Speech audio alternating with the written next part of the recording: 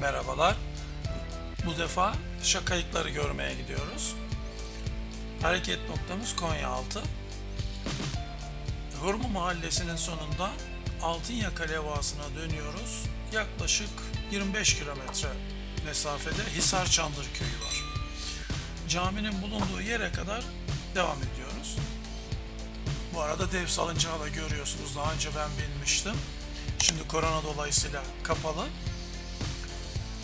Caminin olduğu yerden sola dönüyoruz köyün içinden orman yolunu takip ediyoruz. Asfalttan ayrıldıktan sonra 7-8 kilometre sonra Şakayık doğal yayılış alanına geliyoruz. Şakayık çiçeği 2013 yılında yapılan e, Expo'da sembol çiçek seçilmişti. Zaten bu şakayık yayılış alanını kaçırma ihtimaliniz yok. Çünkü hemen sol tarafta gördüğünüz gibi merdivenlerden aşağı doğru iniş var. Yeşil bir merdiveni var. Şakayık çiçeğine halk arasında ayı gülü de denmektedir.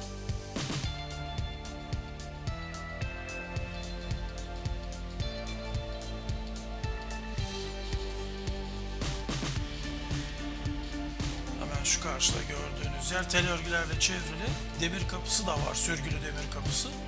Ancak ben e, daha önce de geldim. Kilitli değildi. Yine kilitli değil. Nisan sonu Mayıs başında çok kısa süre açık kalan e, şakayık çiçeğini görebilmek için seneye şimdiden telefonlarınıza bence e, randevu yazın. Bu güzel görüntüyü kaçırmak istemezsiniz bence.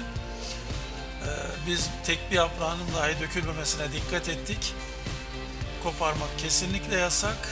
Eğer jandarma görür yakalarsa ciddi derecede cezası da var. Bunun köklerinden de ev ilaçları yapılmaktaymış öğrendiğimize göre.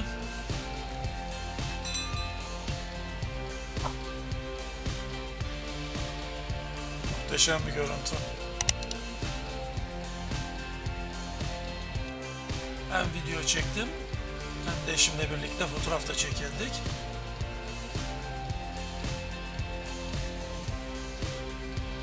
Bunlar da 5-6 kare pozumuz orada. Burayı bitirdikten sonra yaklaşık bir kilometre daha tırmanarak 1400 metrede burası. Biz 1500 metredeki Elma Yanı Yaylası'na çıktık. Orada da minicik bir işletme var ama tabii yine korona dolayısıyla bir şey yiyip içmedik orada. Bir köylü işletiyor orayı. Şimdi göreceksiniz orayı da. Zaten 30 30 civarı konut var burada.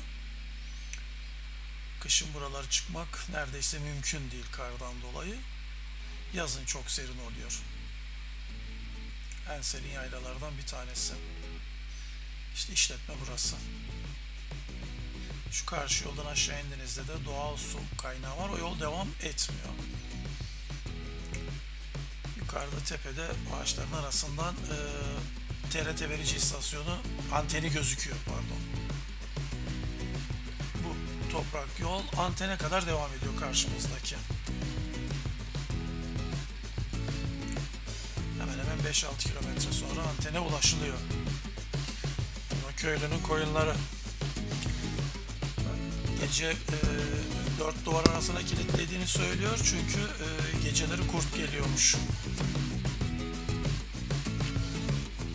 Dönüş yolundayız. Zemini son derece güzel buranın motor ve bisiklet için şahane.